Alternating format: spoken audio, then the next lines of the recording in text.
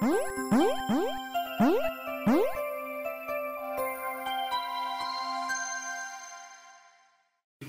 it's great to be here. So, uh, I only have 20 minutes to present, but I want to talk about where Flash is going because, as everybody knows, uh, over the last few years, it's been pretty tumultuous for Flash. A lot of misconceptions, um, and I just want to give, give some idea of where we're going with Flash, particularly around gaming. So uh, I'll be around for a little bit afterwards, but if you want to get a hold of me, usually Twitter is the best way nowadays. Uh, it's just at Lee Brimelow is my Twitter handle. Uh, you can email me, it's just my last name at adobe.com, but Twitter seems to be uh, where I do most of my communicating uh, nowadays, which is a little strange. So I want to talk first about some common misperceptions surrounding Flash, and there are many. So first is you can't target iOS with Flash. Now half of that is is true, right? As most people know, Flash doesn't run in the browser on iOS devices. And in fact, we, we're stopping developing the mobile browser plugin altogether because what's the point if you can't target iOS, right? But you can use Flash to create applications and games for iOS using Adobe Air. And uh, I'll, I'll walk through some examples of, of this workflow and how they've been really successful. So another one that kind of uh, grew uh, was that Windows 8 Metro was not going to support the Flash player. So that's not correct. What happened was the Internet Explorer team made a blog post about how they wanted IE to be completely plug-in free. Well, uh, that's only one team at Microsoft, basically think the Windows team said, whoa, whoa, whoa, whoa, wait a minute. So all these people are going to go buy their new Windows 8 laptop, and then they can't play their Facebook games. You know, I don't think that's really going to fly. So both IE and Chrome will have Flash built in to the browsers in Windows 8 Metro mode. So the other one is everybody is moving towards HTML5 for games. So now there definitely is a lot of movement in this space, and in fact, Adobe is now uh, doing a lot of stuff surrounding HTML5. Um, but the reality is, you know, big companies like Rovio and Zynga are, are investing heavily into Flash. Um, and I'll, again, I'll show you some examples of that. The, another misconception is, especially among kind of hardcore game developers, is that Flash is only good for simple games. Um, you know, and, and, it is. That's kind of been, you know, where Flash started. You know, all of these kind of really nice, simple, casual games. But we also are putting features into Flash that enable console quality games on the web. And in fact, Epic recently ported Unreal Tournament 3 to run inside of the Flash player. And this was a, a just a demo. You can't go and play it uh, online. Um, but it shows the power the Flash player has now to deliver not just simple casual games, but also console quality 3D games. So again, I'm going to uh, skip over this a little bit, but we definitely see HTML5 increasing in, in importance when it comes to games. Um, and Adobe is kind of working both sides of this. Uh, and you know, if HTML5 uh, continues along, like let's say everybody ends up supporting WebGL, then you're going to see us also targeting HTML5 with our tools and services. So the current state of HTML5 um, some good news, definitely, is that Google Chrome is now the number one browser in the world, which if, you, if you've ever done any web development, this probably makes you pretty happy. Um, but just in general for HTML5, this is a good thing. So Adobe's doing a lot around HTML5, and in fact, you may hear us now talking more about HTML5 than, than we do about Flash. We're doing a lot of work for, uh, to actually put in a lot of rich features directly into the browser. So we're doing a lot of uh, contributions to WebKit and things like that. And we're also creating a set of tools uh, to, to essentially allow you to create all that rich expressive content in HTML5. So with that being said, uh, when it comes to, to Flash, and, and, you know, a lot of people, if you, if you listen to the tech news, oh, Flash is dying, it's, you know, it's irrelevant now. Well, this was a very recent uh, post by uh, Google on their Chromium blog. Basically, the point of this post was saying how plugin use is declining pretty steadily. except for Flash and PDF. And they basically did this test, and essentially in this 28-day window, 99.9% of people using Chrome actually were using Flash. So uh, that's why Flash is actually bundled directly into Chrome. It doesn't behave like a plugin. It's actually a part of the browser. Um, so it's complete misconception that Flash use is actually declining. It's not. So two areas that Flash clearly still dominates on the web is video and gaming. And these are the two areas that we're really focusing on for Flash moving forward. Um, you know, because a lot of the, the, the, old uses of Flash, you can do a lot of that stuff in HTML5 now. Um, so these two areas, though, we see being really important for Flash. So we now have an actual gaming team at Adobe, and we're really putting resources specifically into gaming. If you want to find out the whole thing with, with uh, you know, what we're doing surrounding the technology, showcase of really, uh, really like uh, successful games, you can go to gaming.adobe.com, which is a, a new microsite that we created. So why Flash for games? Um, a big one is consistency and reach. If you're a gaming company, you want to get your game in front of as many people as possible.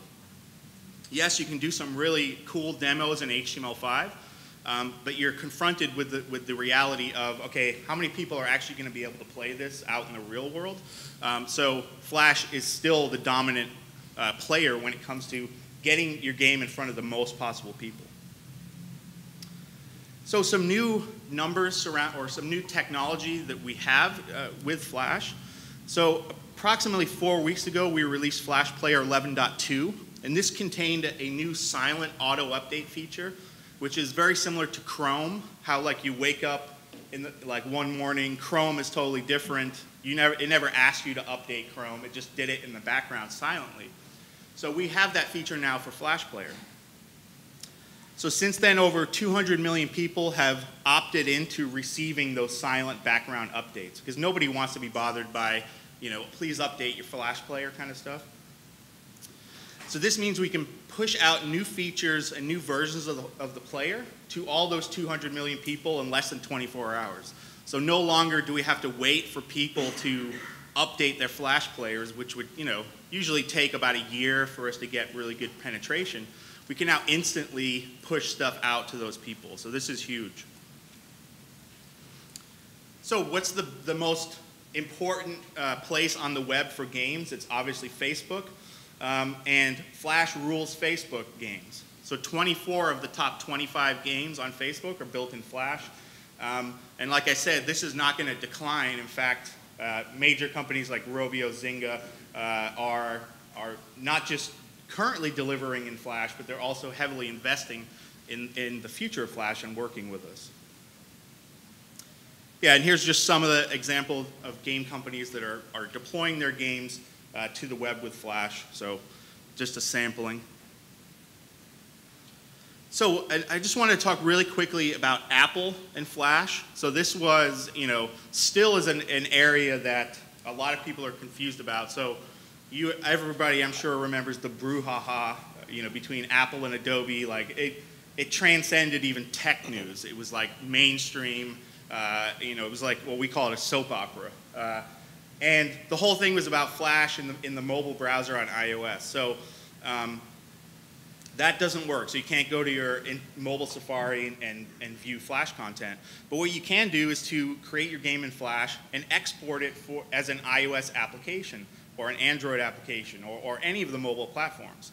And really, this is all that really matters because while people are saying that, yeah, web, web-based gaming on mobile devices is the next thing, well, maybe it is, but it currently isn't at all. I don't know anybody who plays games in the mobile browser. Everybody plays games as apps. So that's really the most important area for Flash to be in.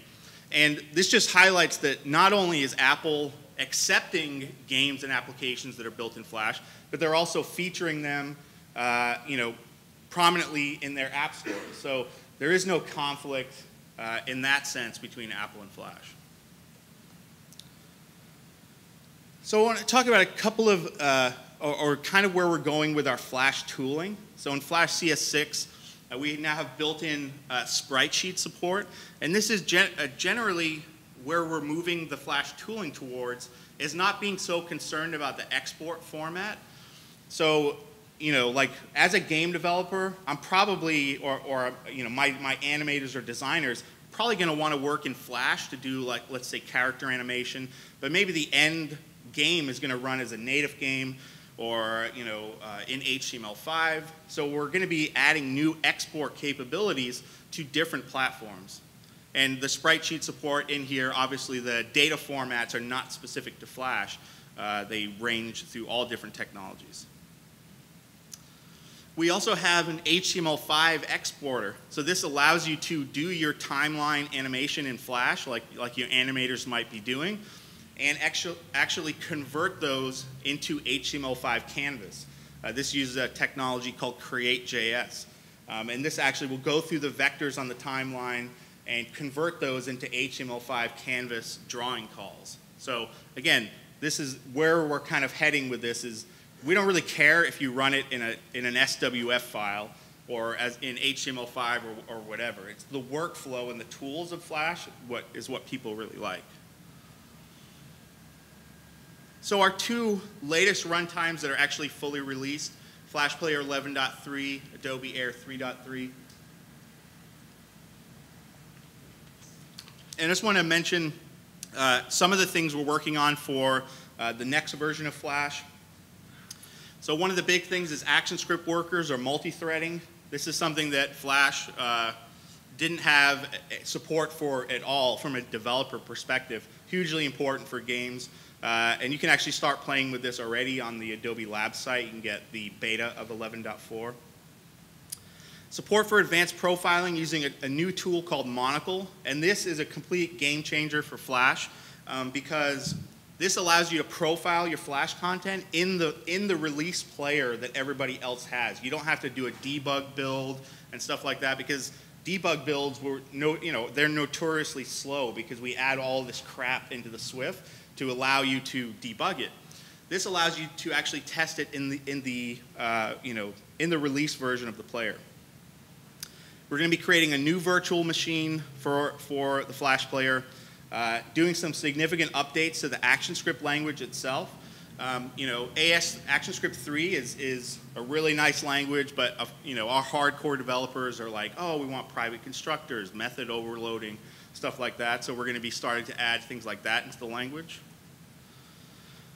And just making the ActionScript language faster because it used to be that the slow part of Flash was the rendering because uh, essentially we did all of our rendering and software on the CPU. Now you can do it all on the GPU. So now the slowest part of Flash is actually the ActionScript language itself. So that's where we're really spending a lot of time to, to speed up the performance of ActionScript and adding some more advanced gaming features. So I don't have time to actually demo Monocle today, but this is what it actually looks like. And this is a, a 3D uh, scene that you're seeing here. I can look at all of the all of the draw calls that are being done to the GPU. I can actually step through the creation of this scene, um, get very specific information about all, all of the frames and, and certain areas that I need to look at. So um, again, in, you know, uh, in really advanced gaming tools, you have this type of stuff, but Flash has never had anything this robust for profiling your content. So the undoubtedly the biggest new feature in Flash that's, that's in, in like the last five years is Stage 3D. And like I mentioned before, Flash used to be pretty much all CPU rendered, which isn't going to work if you want to do a 3D game. I mean, people did amazing things with it, but now with Stage 3D, it's essentially a subset of OpenGL in the Flash player where you can run everything on the GPU. So you, uh, I'm sure many of you in here just saw the last presentation uh, with Unity. So Adobe is actually partnered with Unity um, because uh, you know we're not going to build a 3D gaming tool like Unity. Adobe has no plans on building something like that um, because it probably, let's face it, it wouldn't be as good as Unity. We don't, we don't have that type of expertise. So it's better for us to partner with what, you know, what is one of the best tools out there. So Unity has actually developed a Flash export feature And I want to show you really quick uh, what that looks like. Well, I'll show you the, the result of what that looks like. So when you download Unity, you get, um, it comes with a sample game for you, for you to be able to, to, uh, to see how it was built and stuff like that. Um, and it's called Angry Bots. And here's that game, and this is running inside a Flash player now using that export feature. And this is all running on the GPU. So, and you know, and this again, this this is not like an Alienware 50 pound laptop. This is just a regular MacBook Pro uh, running this, and it's completely smooth. So this is, you know, a lot of console game companies, uh, they're seeing their revenue kind of decline a little bit because where, where is everybody playing games now? It's on, the, on your mobile devices and on Facebook. So the idea is that in the future, these types of games are going to be embedded right inside of Facebook, and you can, you know, all you and all of your friends can be in here playing these kind of console quality games directly in the web. So another uh, area, uh, so just to back up, that Unity feature is actually currently in there if you download the Unity tool today. I'm not sure if it's out of beta yet, but it's definitely in there for you to check out. Now, Epic is also working on an exporter for Flash. Obviously, they have the UDK development tool, um, and uh, let me see if I can get internet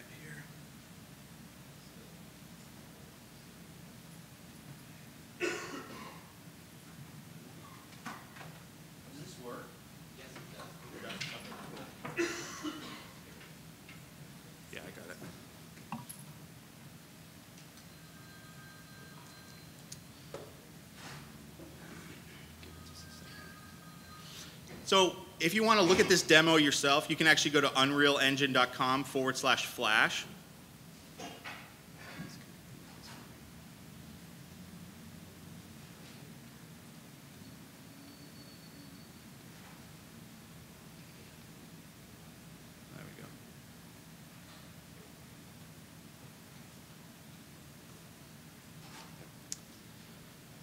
So this is their Epic Citadel demo that they've actually Oh, and that's not very promising. I, th I thought I had it cached, but uh, maybe I don't. Well, anyway, the, the best thing to do to look at this demo is to look at it on your own machine. That way, you know, because people think, oh, he probably has some souped up machine, probably runs like crap. Look at it on your own computer and, and, and judge for yourself. But um, this is essentially, it, I'm sure many people have seen the Epic Citadel demo. Uh, they made it initially for the iPad. Um, console quality, uh, 60 frames per second running in the Flash player. So definitely check this out on your own machine. Um, well, it's so close. How much time do we have left?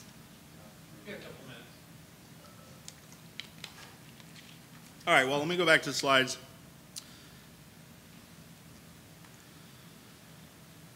So uh, when it comes to frameworks, those are two big game frameworks, but there's a lot of community-based frameworks, and one of the best is called Away 3D. And Adobe is now officially working with Away 3D. We're helping to fund its development. Uh, so we're really starting to, to change our workflow of us trying to do everything ourselves in-house to supporting open source projects, which, which are, you know, have awesome uh, projects that are being created. So we're instead trying to fund those projects. So what about 2D really quickly? Uh, you know, every, all the demos usually are these really cool 3D first-person shooters, but what are, what are the most profitable games out there? Uh, it's a lot of it is these 2D casual games, which Flash is really, really well suited for. So another open source project that we're supporting is called Starling, and this is essentially a way to tap into the GPU with Flash using a very similar API to what Flash developers are already used to using. So start, some games that are already out there that have been built in Starling on Facebook, uh, Zynga just released Ruby Blast, which is, again, Flash-based, built in Starling. And Angry Birds on Facebook is actually built using the Starling framework. So it has some, you know, and that's like, I don't know how many, 20 million users, you know, so uh, it's definitely a good use case for, for Starling. So let me see if this is actually loaded. That looks like it is. So my, my resolution here is a little, is obviously a little small. So here's the Epic Citadel demo.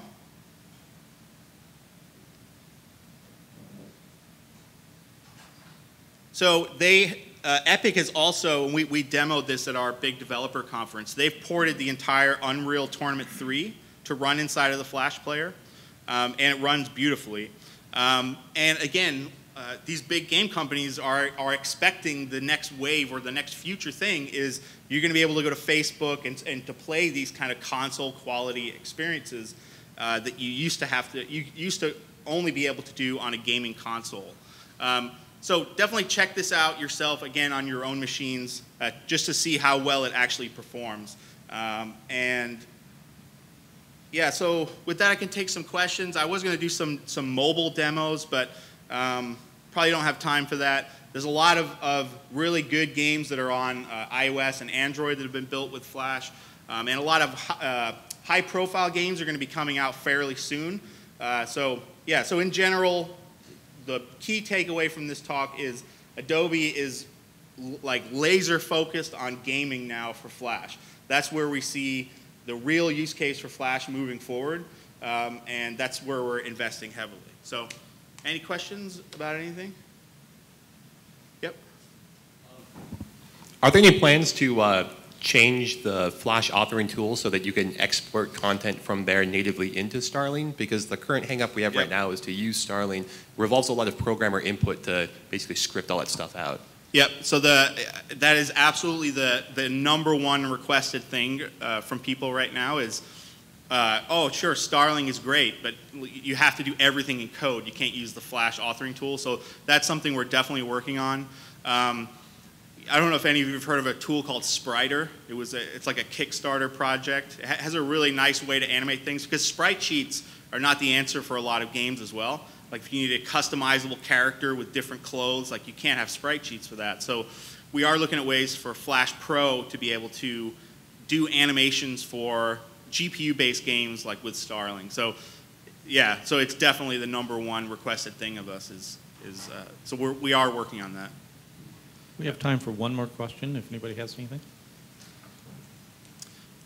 Well, Okay, well, thanks. Uh, Thanks, if- I appreciate it. If anybody has questions, they want to speak to them uh, afterwards. Yeah, I'll be in the step back. outside in the back. Cool, Thanks. thanks. Appreciate it.